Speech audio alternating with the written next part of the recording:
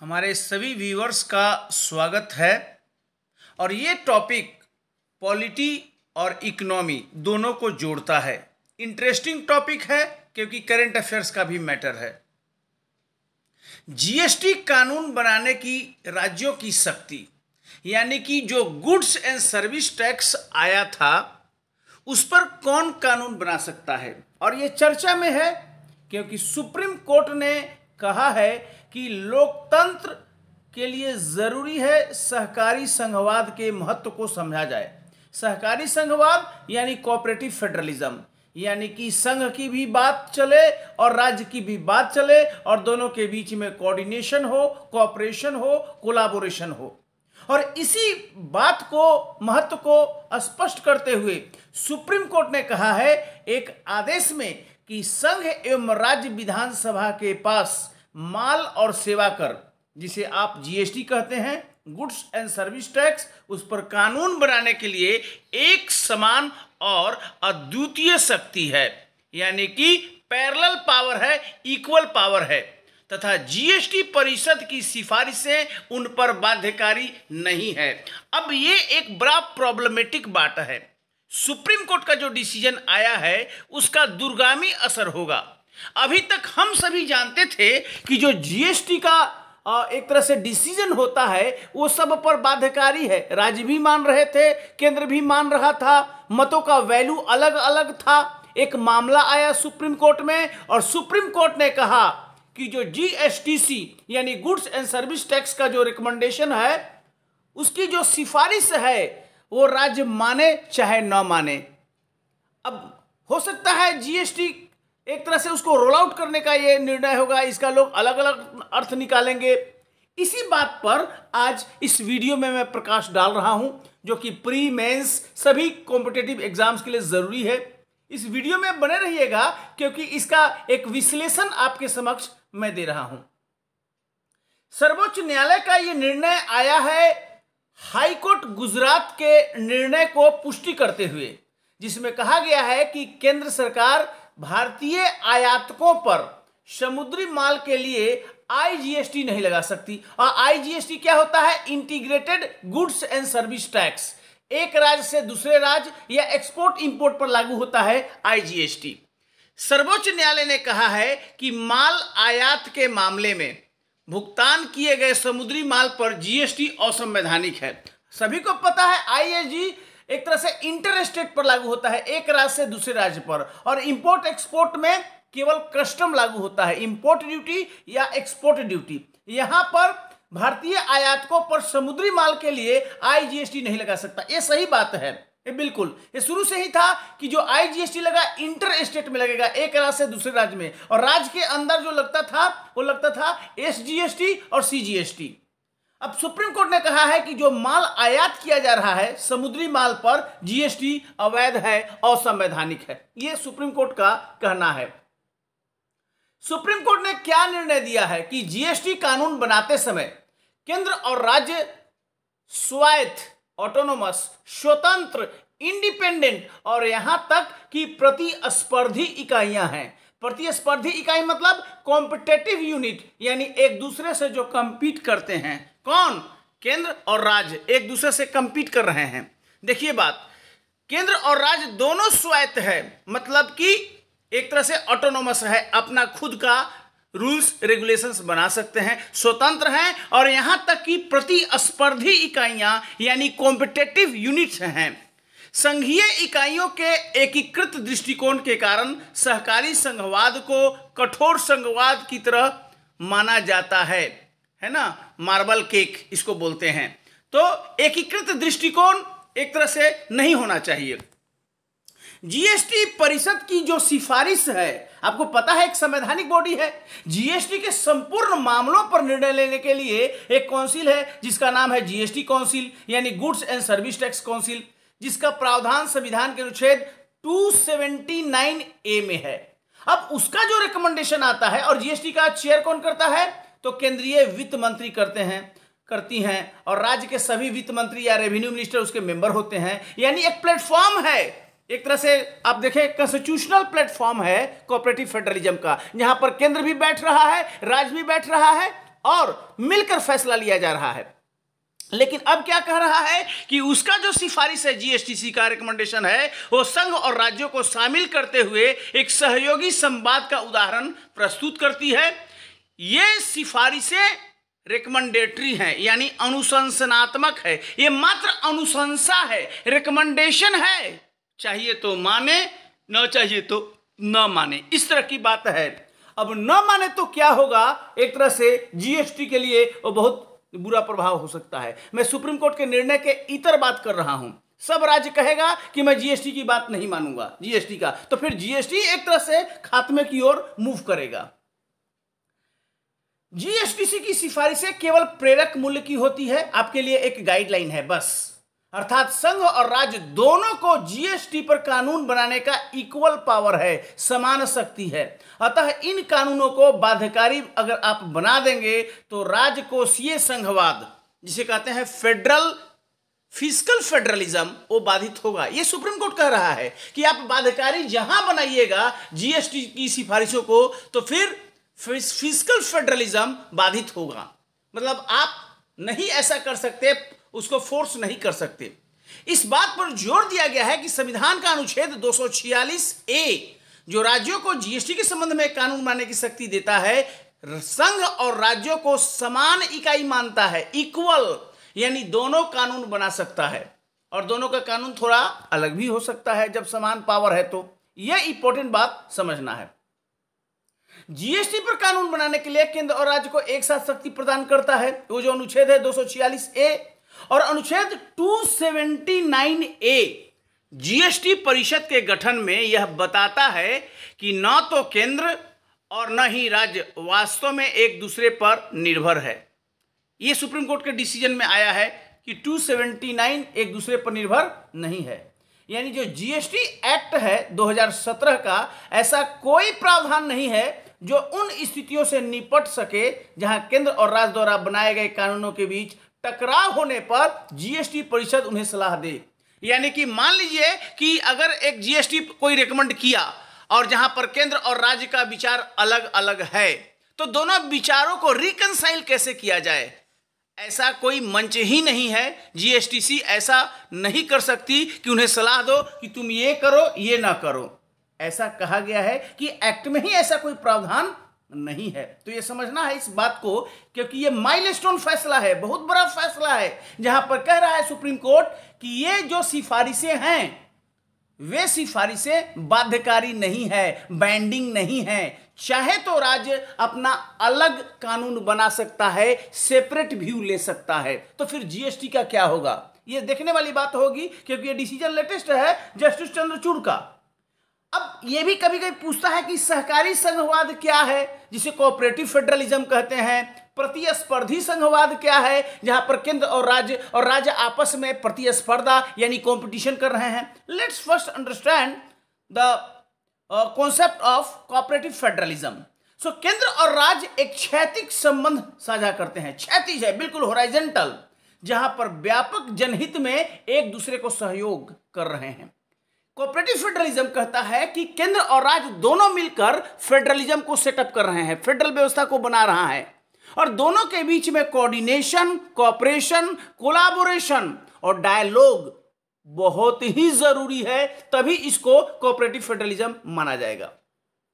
यह राष्ट्रीय नीतियों के निर्माण और राष्ट्रीय नीतियों के एग्जीक्यूशन यानी क्रियान्वयन में राज्यों की भागीदारी को सक्षम करने के लिए एक महत्वपूर्ण उपकरण है। संघ और राज्य संवैधानिक रूप से संविधान की अनुसूची सेवन, यानी जो सेवन शेड्यूल है जिसमें शक्तियों का बंटवारा है, सेवन शेड्यूल में है, शक्तियों का बंटवारा, जिसमें कि संघ सूची है, यानी कि union list, state list, concurrent list, ये एक दूसरे के साथ सहयोग के लिए बाध्य है।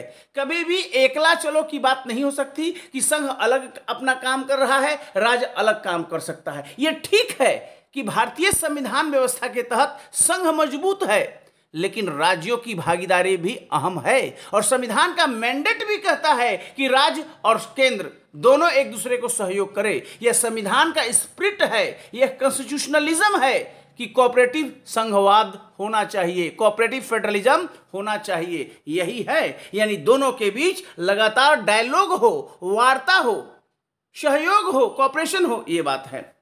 अब आप समझिए तो फिर कॉपरेटिव फेडरलिज्म तो समझ गए। अब प्रतिस्पर्धी क्या कंपटीशन भी करना है? कॉम्पिटेटिव फेडरलिज्म क्या है? तो केंद्र और राज्य सरकार के बीच जो संबंध है, वो उधरवाधार होते हैं कॉपरेटिव फेडरलिज्म में। मतलब जैसे हमने कॉपरेटिव में बताया था कि होराइजेंटल है, क्षैतिज है।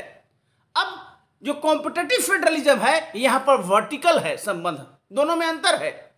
सभी राज्य सरकारों के बीच परस्पर जो है, इस तरह का संबंध होता है। केंद्र और राज्य सरकारों के बीच उधारवाधार होते हैं, जबकि कॉपरेटिव फेडरलिज्म में क्षतिज होगा, जैसे मैंने बताया। 1990 के दशक में नई आर्थिक नीति आई।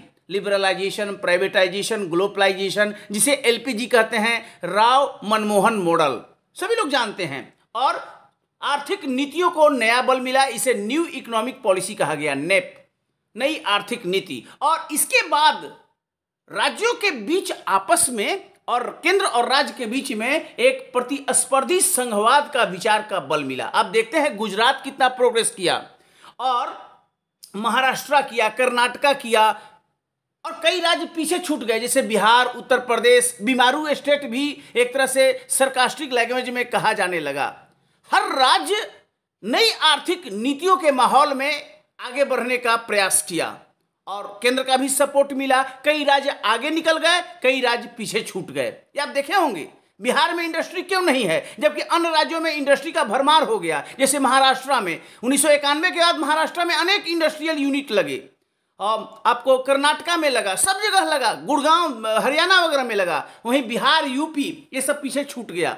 ये समझना होगा, क्योंकि कॉम्पिटेटिव फेडरलिज्म की बात हो रही है। कौन कितनी मेहनत कर रहा है? नब्बे के दशक में यह शुरू हुआ।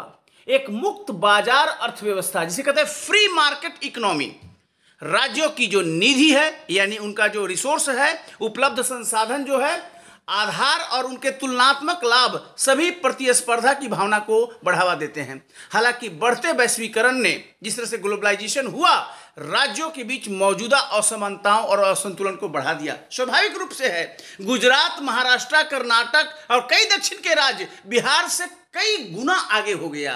क्यों? क्योंकि ये कंपटीशन और माहौल भी चाहिए कंपटीशन का, सबसे बड़ी बात है। आज बिहार में जो इंडस्ट्री लगाने का न्यूज़ आप सुन रहे हैं, अभी तो अब कितना दशक बीत गया? नब्बे का दशक फिर दो हज़ार एक का दशक और 2011 का दशक, तीन दशक बाद अब कोशिश हो रही है कि बिहार में इंडस्ट्री लगाया जाए।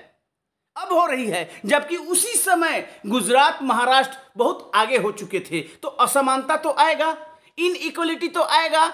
ये कैसे हुआ? कॉम्पिटेटिव फेडरलिज्म से हुआ, क्योंकि राज्य कंपीट कर रहे हैं एक दूसरे से, और इसी का नाम है कॉम्पिटेटिव फेडरलिज्म यानी कि संबंध कैसा है? वर्टिकल है। कोई ऊपर चला गया, कोई नीचे रह गया। ये है कॉम्पिटेटिव और अभी जो मैं बताया कोऑपरेटिव फेडरलिज्म, जहाँ पर संघ और राज्य एक दूसरे के साथ संवाद कर रहा है, समन्वय कर रहा है, वार्ता कर रहा है। यह ज़रूरी है यह संवैधानिक मैंडेट है। और, लेकिन संविधान मना नहीं करता कि तुम कंपटीशन ना करो। करो, जो तुम्हारा रिसोर्स है। अब किसी के पास समुद्र है, जैसे महाराष्ट्र के पास डेफिनेटली एक बहुत बड़ा सोर्स है। अब बेंगलोर की बात आप करें तो वहाँ आईटी का एक नेचुरल है, वहाँ का जलवायु भी है तो आईटी इंडस्ट्री बेंगलोर में काफ़ी आगे बढ़ा। तो एक, यही मैं थर्ड पॉइंट इसमें कह रहा हूँ कि यह इकोनॉमी है मार्केट इकोनॉमी है। कहाँ मार्केट को बेहतर जगह मिल रहा है? वहाँ पर वो बसेगा और वहाँ एक तरह से इंडस्ट्री का डेवलपमेंट होगा। तो यह इंपॉर्टेंट है, समझना। प्रतिस्पर्धात्मक संघवाद में राज्यों को लाभ के लिए आपस में और केंद्र के साथ भी प्रतिस्पर्धा करने की आवश्यकता होती है। यही बात जस्टिस चंद्रचूर ने इस डिसीज़न में कहा है कि जीएसटीसी की सिफारिशें बाइंडिंग नहीं है। क्यों? क्योंकि अगर चाहे राज्य तो जीएसटी सिफारिश के इतर भी अपना सेपरेट कानून बना सकता है।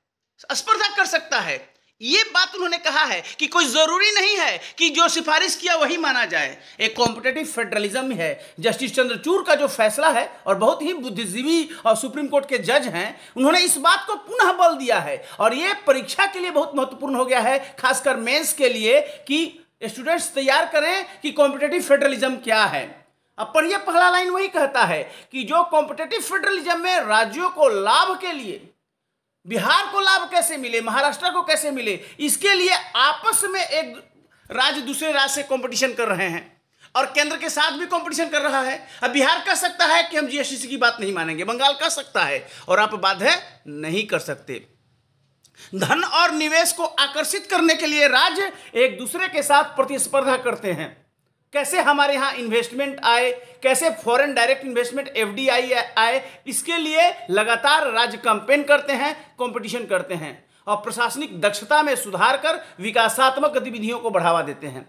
अब प्रतिस्पर्धी संघवाद भारतीय संविधान की मूल संरचना का हिस्सा नहीं है, बल्कि यह एग्जीक्यूटिव पावर्स के निर्णयन परंपरा का हिस्सा है। अब जानिए कोऑपरेटिव फेडरलिज्म एक तरह से इंपॉर्टेंट है। भारतीय संघवाद कहता है, क्योंकि अंतर्राज्यीय परिषद है जीएसटीसी है। ये कॉपरेटिव फेडरलिज्म तो संविधानवाद का एक महत्वपूर्ण लक्षण है, लेकिन संविधान कॉपरेटिव फेडरलिज्म की बात नहीं कहता है। तब ये कैसे आया? ये एग्जीक्यूटिव पावर के एक्सरसाइज से आ रहा है डिसीज़न मेकिंग से आ रहा है, कि हम कंपटीशन करेंगे। यही कारण है, इस कंपटीशन में कई राज्य पीछे रह गए और कई राज्य बहुत आगे चल गए। इसीलिए वर्टिकल बन गया। आपको अलग अलग देखेगा। अब बिहार पीछे रह गया, उड़ीसा से उत्तर प्रदेश और कई राज्य आगे बढ़ गए हैं तो कंपटीशन हो रहा है। आप थोड़ा सा वस्तु और सेवा कर की बात कर ले आप, जिसे कहते हैं गुड्स एंड सर्विस टैक्स अब जीएसटी क्या है? तो एक व्यापक कर है। अब इनडायरेक्ट टैक्स है। बहुचरणीय, कई चरण में है ये। गंतव्य आधारित। यानी जहाँ माल जा रहा है, उस पर टैक्स लगेगा। अगर महाराष्ट्र से माल बिहार आ रहा है तो टैक्स बिहार में लगेगा, क्योंकि यह गंतव्य आधारित डेस्टिनेशन बेस्ड टैक्स है। महाराष्ट्र में नहीं लगेगा, क्योंकि वह स्टार्टिंग पॉइंट है एंड पॉइंट यानी डेस्टिनेशन पॉइंट पर लगता है। और मूल्य वर्धन पर वैल्यू एडिशन पर लगेगा। जितना बढ़ता जाएगा, अब महाराष्ट्र से बिहार में आ रहा है तो आईजीएसटी लगेगा। और बिहार के अंदर पटना से अगर माल जा रहा है, नालंदा में या पटना से वो जा रहा है, मान लीजिए कि कहीं और, कोई और डिस्ट्रिक्ट में जा रहा है, मुंगेर में जा रहा है, तब वहाँ पर एस जी भी लगेगा और सी जी भी लगेगा। इस तरह का बात है। पूरे देश का सिस्टम है, अप्रत्यक्ष टैक्स है इनडायरेक्ट टैक्स है, सभी को जानते हैं कि पहले वैट था सेल्स टैक्स था सर्विस टैक्स था, अनेक कर थे। कैसेकेडिंग इफ़ेक्ट था? टैक्स पर टैक्स और उसको खत्म करने के लिए गुड्स एंड सर्विस टैक्स आया और वो इनडायरेक्ट टैक्स है। और सभी जीएसटी मामलों पर फैसला लेने के लिए एक संवैधानिक बॉडी बना, जिसका प्रावधान है संविधान में 279 ए जिसे आप वस्तु और सेवा कर परिषद goods and service tax council कहते हैं। और जीएसटी के संबंध में हर निर्णय लेती है कितना टैक्स होगा, क्या टैक्स के दायरे में होगा, किसको हटा दिया जाएगा। ये सारा बात पर फैसला लेता है। अब सवाल है, उन फैसलों को कैसे लागू करना है? अब सुप्रीम कोर्ट ने तो बड़ा निर्णय दे दिया है। निर्णय जीएसटी के तहत उन प्रावधानों के परिदृश्य को बदल सकता है जो न्यायिक समीक्षा के अधीन है। बड़ा निर्णय है कि जीएसटी की सिफारिशें बाध्यकारी नहीं है। अब इन प्रावधान का जो बैकग्राउंड है, उसको चेंज कर सकता है। अब तक सब लोग जानते थे कि जीएसटी जो ने कह दिया, वही मानना पड़ेगा। लेकिन अब ऐसा नहीं है। न्यायालय ने स्पष्ट रूप से कहा है कि जीएसटी परिषद की सिफारिशों का केवल प्रेरक मूल्य है। आपके सामने एक गाइडलाइन है। प्रेरक मूल्य मतलब एक गाइडलाइन है। प्रावधानों के लिए एक व्यवहारिक दृष्टिकोण का होना आवश्यक है। जीएसटी परिषद की सिफारिशों के आधार पर ऐसे प्रावधान जो संवैधानिकता को चुनौती देते हैं, न्यायिक समीक्षा के अधीन है। तो यह इंपॉर्टेंट बात है, समझना है। और इसीलिए इस टॉपिक को मैं विद्यार्थियों के समक्ष लाया हूँ। ये पॉलिटी और इकोनॉमी दोनों को जोड़ रहा है। संवैधानिक प्रावधान भी है और इकोनॉमी का भी मैटर है। और ये कोऑपरेटिव फेडरलिज्म कॉम्पिटेटिव फेडरलिज्म इन सबसे जुड़ता है। और टैक्स रिफॉर्म का ये मुद्दा है एक तरह से। बड़ा मुद्दा है, अब आगे सरकार क्या करती है? क्या सरकार इसके लिए संविधान में संशोधन करेगी? या पार्लियामेंट कोई लॉ बनाएगा? ये आने वाले समय में पता चलेगा। फ़िलहाल एक संशय की स्थिति तो बन गई है। कि जीएसटी परिषद की सिफारिशें अगर राज्य मानना बंद कर दे तो फिर आगे का रास्ता क्या?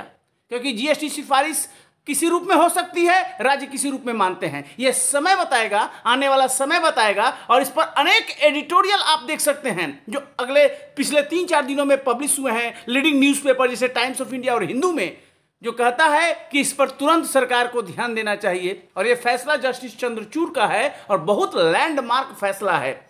बहुत बहुत धन्यवाद। इस वीडियो को ज़रूर इसे शेयर कीजिए अपने दोस्तों के बीच में, ताकि उनको भी सुप्रीम कोर्ट के इस लेटेस्ट डिसीज़न के बारे में पता चले। और इस चैनल को अभी तक सब्सक्राइब नहीं किए हैं, ज़रूर सब्सक्राइब कीजिए लाइक कीजिए और शेयर कीजिए। बहुत बहुत धन्यवाद। Thank you very much